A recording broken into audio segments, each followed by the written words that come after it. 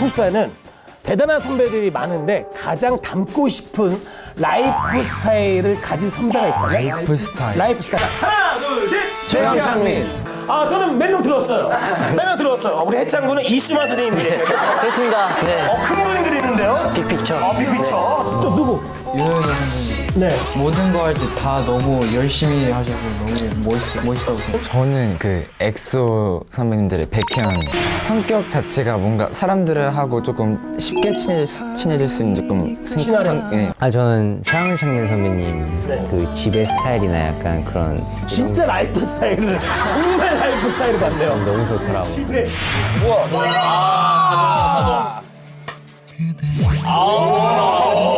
저는 슈퍼주니어의 동해 선배님이 좋습니다. 어릴 때 닮기도 했지만 지금은 아니지만 어, 어릴 지금 약간 둘 다 최강 창민을 얘기했던 재미는 그 모습이 좀 있고요.